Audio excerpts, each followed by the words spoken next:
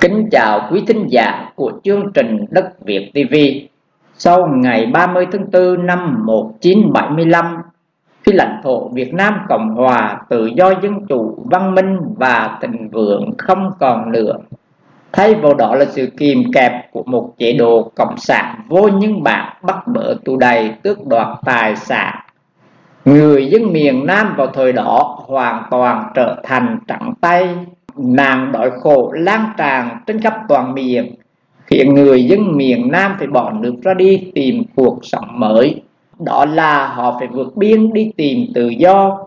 Có nhiều trăm ngàn người đã bỏ xác trên biển Đông, ngã mình trên rừng vắng. Cũng có hàng trăm ngàn người đã chịu nhục nhằn, nhưng cả triệu người không chuồn bước lụ lượt ra đi chấp nhận hiểm nguy bất kể sinh mạng liều chết ra đi tự do chất chữa cái quyền được sống làm người nhưng quyền ấp ủ cuộc sống no lành. Đường đi tới tự do gian nan phủ đầy mạo lệ thịt xương vương vãi dọc đường.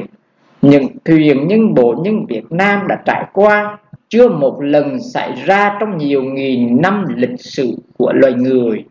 Kính thưa quý thính giả, dưới đây là câu chuyện vượt biên của đôi bạn tù Tùng và Hiền bị giam giữ ở rừng U Minh. Khi Tùng vượt ngục thành công tiếp tục vượt biên qua định cư tại Hoa Kỳ, Hiền cũng vượt biên trên chiếc thuyền định mình gặp hải tặc tấn công.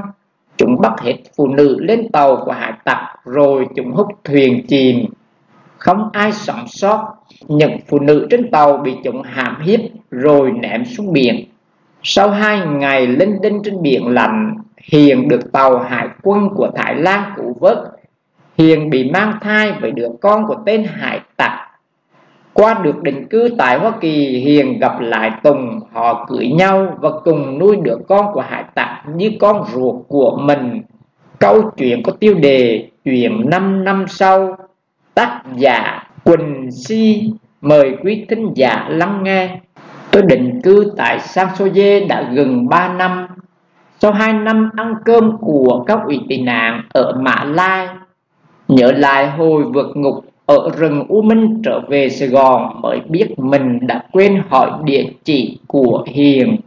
Lúc ấy, mới vò đầu bức tai trách mình sao vô ý đến vậy, chẳng lẽ lộn trở xuống U Minh hỏi nàng.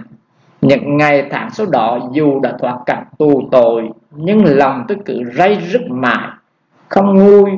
Vì hình bóng nàng cứ luẩn quẩn quanh trong lòng, mỗi lần nghĩ đến cánh tay trắng nuột nà và bị làm mía cửa đến rửa máu, khi nàng đi lao động độn mía ở U Minh, là lòng tôi xót xa như vết thương bị sạc mũi. Không biết nàng có oán, có hận tôi không? Chợ chính tôi oán hận mình vô cùng. Sau lúc đó mình không kẹo nàng vượt ngục luôn? Tôi thường nghiện răng hội tiệc như vậy, Nhưng dĩ nhiên là khó khăn và nguy hiểm hơn gấp bội. Nhưng thà không thoát được Thì cùng chúng số phận tù ngục với nhau, Lẽ nào lại lo thoát thân một mình? Nhưng thực tình mà nói, Tuy thoát được về Sài Gòn đâu đã hết chuyện. Tôi không dám về nhà vì chắc chắn công an ở U Minh bảo vệ địa phương tôi ở. Về việc tôi vượt ngục Thế là những tháng sau đó tôi sống lang thang từ nhà thằng bạn này qua nhà một người bà con khác cho đến khi bắt được đường dây vượt biên mới. Chuyến đi này trọt lọt, chỉ ba ngày là ghe của chúng tôi tấp vào đảo Bi Đông, nhưng thời của thuyền nhân được chào đón đã hết. Mỗi người chúng tôi phải trải qua một cuộc thanh lập hà khắc. Suốt hai năm sống ở đảo, Chiều nào tôi cũng ra ngồi ngắm hoàng hôn trên bờ biển và tìm kiếm hiền trong những chuyện ghe vượt biên cập bến Bi Đông. Nhưng lần nào cũng thất vọng. Tôi rời Bi Đông vào một buổi chiều mưa, gió lạnh, lòng nghe hiu quạnh chứ không mừng vui như những người khác khi được ra phía trường để đến vùng đất hứa, thành phố tôi đang sống thật thơ mộng về núi đồi nhấp nhô chạy loanh quanh tạo nên những thung lũng êm đềm và những thảm cỏ xanh mơ mờ, điểm lắm tắm hoa vàng trải mênh mang khắp nơi. Vì vậy được gọi bằng cái tên hết sức mộng mơ, thung lũng hoa vàng. Ở đây người Việt định cư khá nhiều, nhất là từ khi có chương trình hạt ô, các khu thương mại và chợ búa dành cho người Việt mọc lên khắp nơi. Riêng tôi cứ mỗi lần vào những nơi như vậy, mắt lúc nào cũng nhìn quanh, cố tìm kiếm khuôn mặt thân yêu của Hiền. Có lần vào một buổi chiều thứ bảy tôi đi dạo mua máy cuốn băng nhạc ở khu chợ Lyon khu vực tấp nập người đi cả lại già trẻ lớn bé. Điều ăn vận thật đẹp với đủ loại đủ kiểu chẳng khác gì những chiều thứ bảy. Trên hai bên lề đường lê lợi, sài gòn xưa kia, bất chợt tôi thấy dạng hiền, thấp thoáng trong dòng người đi dạo đông đảo. Tôi vội chạy theo, va phải người này, chạm phải người kia, nhưng không kịp dừng lại, xin lỗi lao tiếp tới phía hiền và gọi tên mừng rỡ, hiền. Cô gái quay lại chỗ mắt nhìn tôi, nhìn khuôn mặt xa lạ của cô gái tôi thất vọng, nhìn xuống nói, lý nhĩ, xin lỗi. Khi đó là mùa đông đầu tiên tôi sống ở xứ người, cái lành dạ dường như thẩm tận vào lòng. Có lẽ nào tôi sẽ chẳng bao giờ gặp lại được nàng.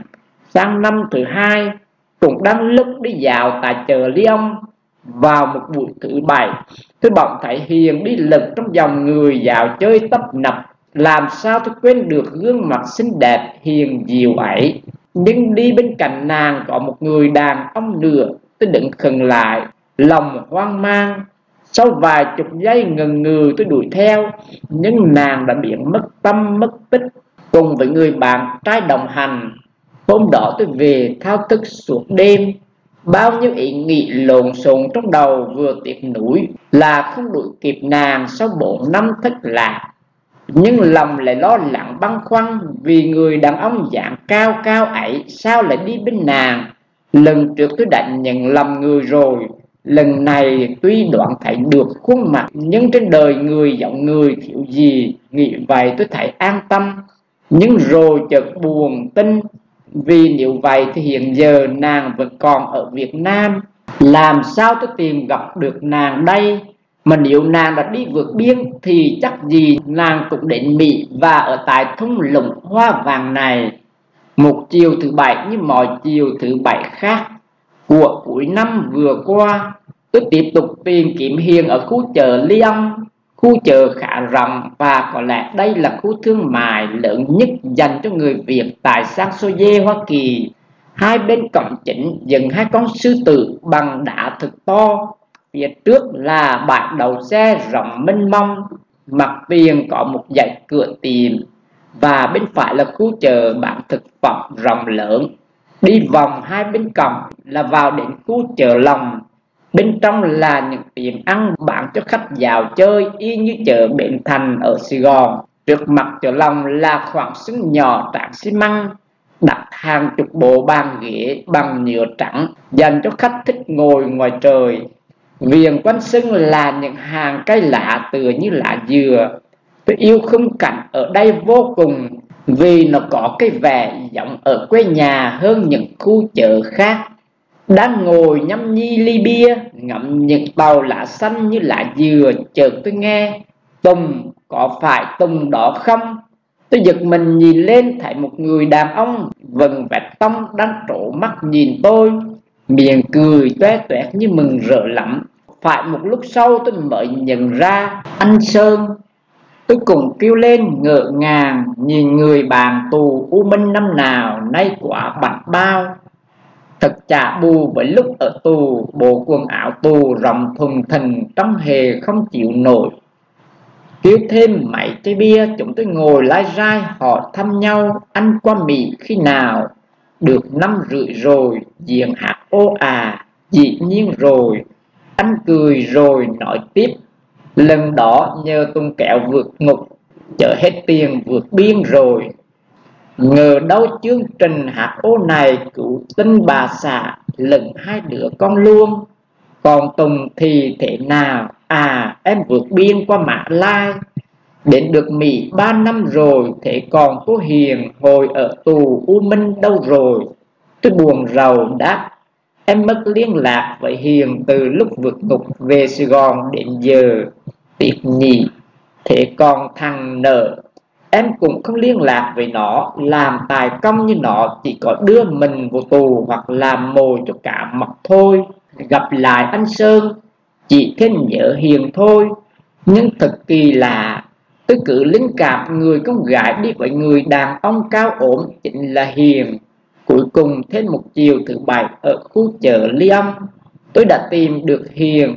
Cuộc trùng phùng có nhiều nụ cười nhưng cũng không kém phần đau xót vì tôi gặp không chỉ một mình hiền, bên cạnh nàng có một đứa bé nhỏ. Người nước da ngâm đen tóc quăng không giống những đứa bé việt nam chút nào. Ghe em bị hư máy linh đinh trên biển cả tuần lễ, rồi cuối cùng gặp ghe đánh cả thái lan. Tưởng được cứu, ai ngờ đám đó lại là hải tặc chúng bắt em và năm người con gái khác lên ghe chúng rồi tông tàu vào chiếc ghe vượt biên nhỏ xíu cho đến lúc chìm hạt tội nghiệp mấy người đàn ông và đám người nhỏ còn lại trên ghe, ai bị chết đuổi thì thôi. Còn ai bơi lọc ngóp đều bị chúng đựng trên ghe dùng dao bụa bộ xuống đầu cho tới chết. Đám đàn bà con gái tụi em bị nhốt trên tàu hơn một tuần lễ sau khi thỏa mạc thủ tỉnh chúng cột chúng em vào một cái thùng đựng dầu rộng bằng nhựa, rồi quăng từng người xuống biển. Sau hơn hai ngày bập bình trên sóng biển, em ngất đi tỉnh lại mấy lần. Cuối cùng được tàu hải quân thải vớt đem vào bệnh viện, ra viện các ủy tị nạn, đưa em vào trại tị nạn ở Panat Nikhom chúng tôi đang ngồi trên một băng đá, nói đến đây nàng xoa đầu thằng nhỏ đang ve miệng cười một cách vô tư lự. Em xin thằng hải ở trại bắt nạt nàng vừa dứt lời, hai đứa chúng tôi ôm nhau được mắt chảy ròng.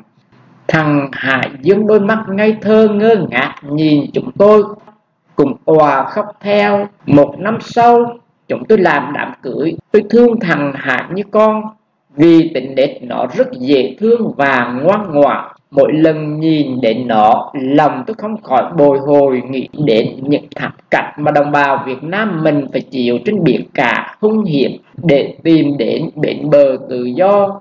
Chế độ sắc mẫu của cộng sản vẫn đang còn thống trị trên quê hương đau thương của chúng ta. Tôi và hiền đã đến mỹ, nhưng đó mới chỉ là thứ tự do ích kỷ cho bản thân vì trong tâm thức, chúng tôi cảm thấy có lỗi với những người phải ở lại trên quê hương ngục tù. Nhất là tôi, người đã từng cầm bút trên quê hương. Nỗi bất an trong tâm khảm còn lo lớn hơn. Kính thưa quý tín giả, trên đây là câu chuyện vượt biên của đôi bạn tù hùng và hiền bị giam ở rừng u minh tùng vượt ngục thành công tiếp tục vượt biên qua định cư tại hoa kỳ. Hiền cũng vượt biên trên chiếc thuyền đình mình gặp hải tặc tấn công, chúng bắt hết phụ nữ, lên tàu của hải tặc rồi chúng hút thuyền tị nạn, chìm không ai sống sót. Những phụ nữ trên tàu bị chúng hãm hiếp rồi ném xuống biển, sau hai ngày bập bình trên biển lạnh. Hiền được tàu hải quân của Thái Lan cứu vớt. Hiền bị mang thai với đứa con của tên hải tặc Thái Lan khi qua định cư tại Hoa Kỳ, Hiền gặp lại Tùng, họ cưới nhau và nuôi đứa con của hải tặc như con ruột của mình. Đến đây, Đất Việt TV xin chân thành cảm ơn quý thính giả đang quan tâm theo dõi và hẹn gặp lại quý thính giả trong các chương trình tiếp theo. Xin trân trọng kính chào.